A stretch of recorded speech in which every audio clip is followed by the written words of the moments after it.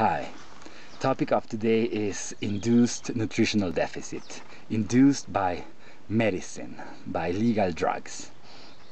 And this is something that actually brings huge health problems that can develop just by taking some uh, harmless, apparently harmless pills and uh, brings nutritional deficit that uh, uh, affects your digestion, your detox system, your metabolism, your uh, immune system. It affects all these things just by taking, for example, when women take the pill, anticonceptive.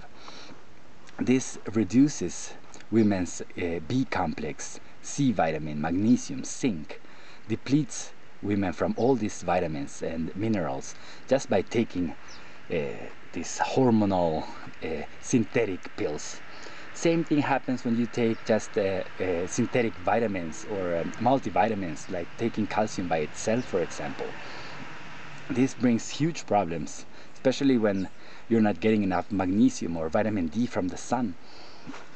Uh, another thing, lots of people, for example, take antidepressives and they take antidepressives for life sometimes because actually antidepressives make depression chronic.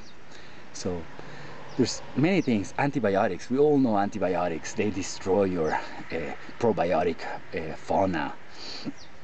And uh, brings huge health problems uh, in your your whole natural immune system gets weaker. So there's so many things related to taking these uh, legal pills. It doesn't matter how healthy you are. It doesn't matter if you're following a strict organic vegan diet.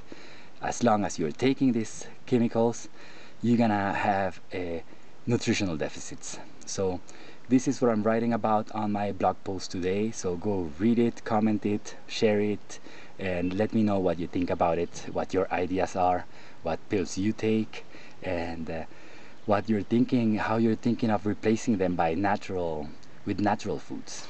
So enjoy your day.